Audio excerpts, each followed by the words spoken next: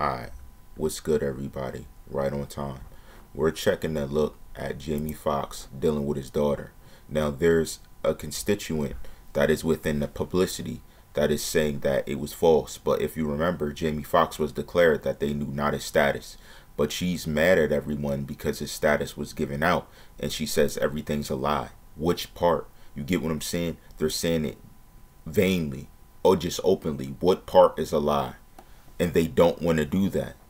First Corinthians chapter 3, starting at the 14th. If any man's work abide which he hath built thereupon, he shall receive a reward. For if any man's work shall be burned, he shall suffer loss, but he himself shall be saved, yet so as by or fire. Know ye not that ye are the temple of God, and that the Spirit of God dwelleth in you? If any man defile the temple of God, him shall God destroy. For the temple of God is holy, which temple ye are. Let no man deceive himself. If any man among you seemeth to be wise in his words, let him become a fool, that he may be wise. For the wisdom of this world is foolishness with God. For it is written, He taketh the wise in their own craftiness. And again, the Lord knoweth the thoughts of the wise, that they are vain. So when people think that they're grandiose with knowledge, experience builds knowledge. But and wise men like to gain knowledge.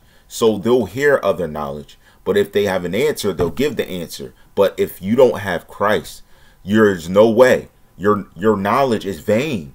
Like even the wisdom you've attained, what is it worth? Because you don't have Christ.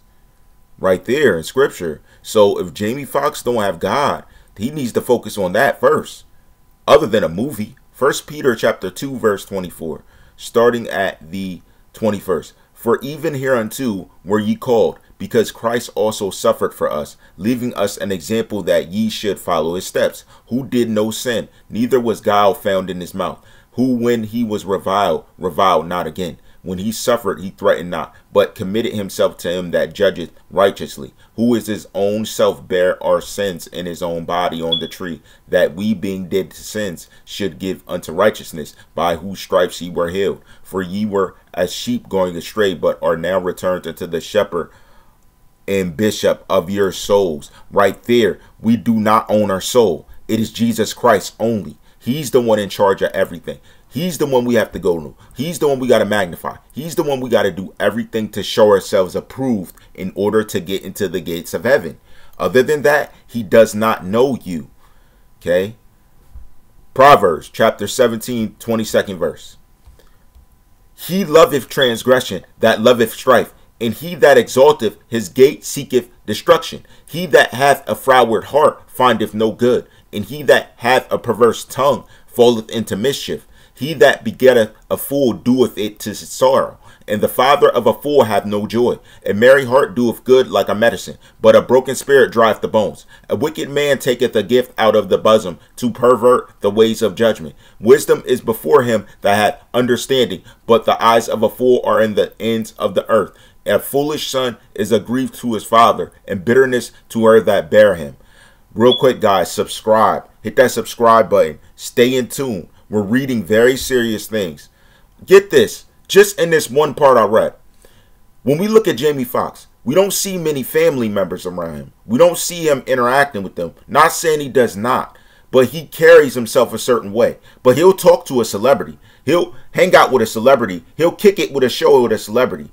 He oh his come up. He was around celebrities on the come up.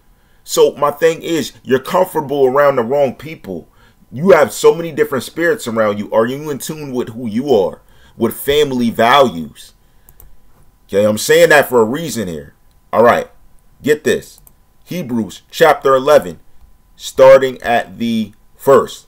Now faith is the substance of things hoped for, the evidence of things not seen, for by it the elders obtained the good report. Through faith, we understand that the worlds were framed by the word of God, so that things which are seen were not made of things which do appear. By faith, Abel offered unto God a more excellent sacrifice than Cain, by which he obtained witness that he was righteous, God testifying of his gifts, and by it being he being dead yet speaketh. By faith, Enoch was translated that he should not see death and was not found because God has translated him. For before his translation, he had his testimony that he pleased God. Right there, guys. Sade and yo, I don't know if y'all watch whatever. Right there. Yes, Enoch is referenced in this Bible. But the book of Enoch is not important. Right here in scripture. That's why I asked y'all, did y'all read? Right here. That doesn't matter because it's talking about things. Our focus is who? Jesus Christ. That's all. That's all you're to focus on. That is your duty. That is your duty. I read that yesterday. First Samuel chapter 2 verse 24, starting at the 21st. And the Lord visited Hannah so that she conceived and bare three sons and two daughters, and the child of Samuel grew before the Lord. Now Eli was very old, and heard all that his sons did unto all Israel, and how they lay with the women that assembled at the door of the tabernacle of the congregation. They took the prostitutes. And he said unto them, Why do ye such things? For I hear of your evil dealings by all this people. Nay, my sons, for it is no good report that I hear ye make the Lord's people to transgress. If one man sin against another, the judge shall judge him.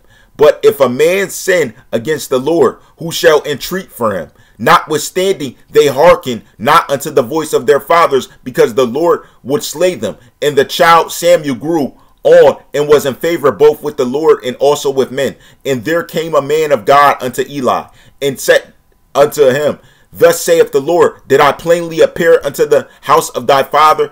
Then they were in Egypt in Pharaoh's house, right there. Even Denzel Washington in a movie called Eli was blasphemy. Right there. They do it willingly. That proves it. No, even deeper. Even deeper. Work your way up here. When it's talking about the Lord people to transgress, nay, my sons, and it's directing them to another level of their evil dealings. There's evil dealings all around us. We have to resist it. That's resisting the devil, and he shall flee right there. Literally, it's showing you what you got to do. You got to read for understanding. Tells you everything you got to do. You must do because it, you're in service. I told you, we're in the army of the Lord. I told you guys.